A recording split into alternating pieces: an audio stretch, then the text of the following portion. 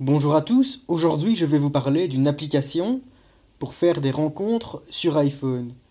Cette application c'est Hasard. A-Z-A-R. Grâce à Hasard, vous allez pouvoir faire des rencontres partout dans le monde. Hasard fonctionne bien avec VoiceOver et les rencontres sont accessibles aux personnes déficientes visuelles. Elles sont accessibles parce que ce sont des rencontres qui ne sont pas uniquement basées sur des critères physiques, sur des photos. Il existe un grand nombre d'applications de rencontres. Bien souvent, pour que rencontre se passe, l'utilisateur doit commencer par aimer un profil, par aimer une photo de profil qui s'affiche à l'écran. Si nous, déficients visuels, nous utilisons une application comme Tinder, nous ne savons pas si le profil que nous avons liké nous plaît vraiment. Hasard vous propose de faire des rencontres via un chat vidéo, ce qui rend l'échange de vive voix possible et donc les rencontres plus accessibles. Comment ça marche?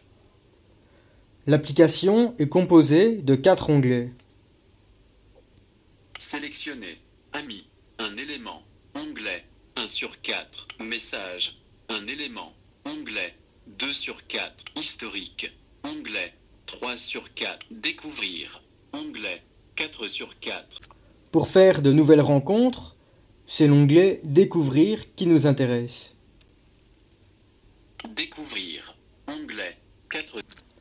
Touchez ensuite le bouton Région qui se situe en bas à droite sur l'écran et choisissez dans quelle région, pays, vous souhaitez faire de nouvelles rencontres. Belgique. Europe occidentale. Gratuit. Mondial. Gratuit. Une fois la région ou le pays choisi, touchez le bouton OK en bas à droite sur l'écran. OK. Bouton. Touchez ensuite le bouton Genre en bas à gauche sur l'écran. Genre. Bouton.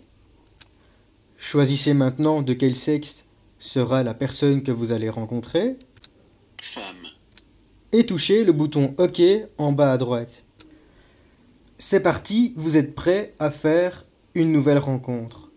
Pour commencer et entrer en contact avec la première personne disponible, faites glisser trois doigts vers la gauche sur l'écran. Attendez quelques secondes et le chat vidéo commence. Pour passer à la personne suivante, faites glisser trois doigts vers la droite sur l'écran. Pour des raisons de confidentialité, je ne peux pas vous faire écouter le chat vidéo. Mais n'hésitez pas à tester et à me dire en commentant cette vidéo ce que vous pensez de cette application. Je suis impatient de vous lire, je suis impatient de savoir ce que vous pensez de cette application hasard. J'espère que cette petite démonstration vous a plu. Vous avez la moindre question sur cette application, alors contactez-moi en m'envoyant un mail à l'adresse vincent at fondationaici.be. Vincent. A très bientôt pour d'autres conseils technologiques.